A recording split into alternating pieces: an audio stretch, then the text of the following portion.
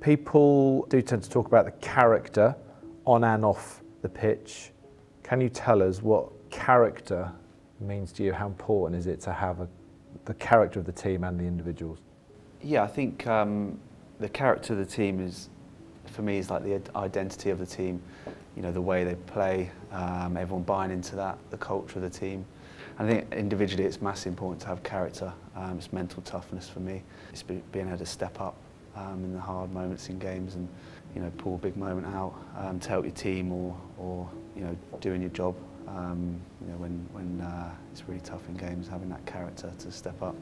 And, and really important to have lots of different characters as well within the team, isn't it? Yeah. I mean the, the amount of times you you play in sides or or even a coach tries to get a similar characters within the team to and it becomes a bit robotic and a bit staid or isn't necessarily the same enjoyment of there may be clashes in character but actually in sport and in rugby they bounce off each other and it creates a synergy to to be better as well. You have played from Marlow minis right up to the Lions and World Cup finals. What values remain true at both at both of those levels?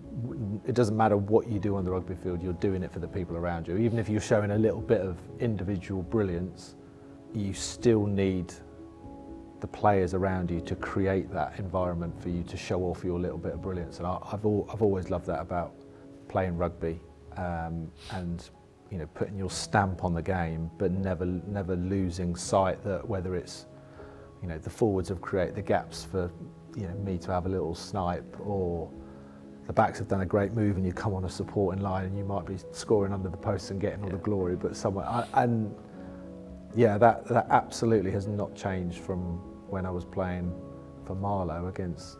So it's like being one small part in a, in a whole team and everyone driving to that goal of winning, but everyone playing their part.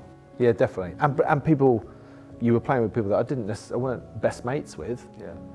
But when you got on the rugby field, it was yeah. this unity yeah. that would just, or everyone would like gather in, and that honestly was that was. I'm sure you were at Salisbury, wasn't it? Yeah, yeah. Maybe this. We used to play against Salisbury. Richard Hill was at Salisbury, wasn't yeah, it? Was, yeah, yeah. yeah, we used to play against Salisbury. We used to kick our butts. what is your favourite memory from your playing days that still gives you a sense of pride and spirit?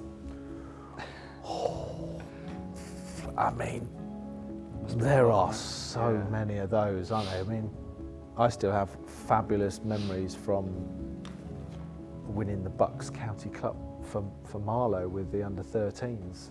Um, you know, it's easy to mention winning the Premiership with, with Wasps in 05, you know, playing for your country, going on Lions tours, but they're all, they, they all have the same ingredients, no matter which decade goes by, you've got to have those same ingredients to deliver that, that brilliance, that experience that makes rugby so much more special than a lot of other sports.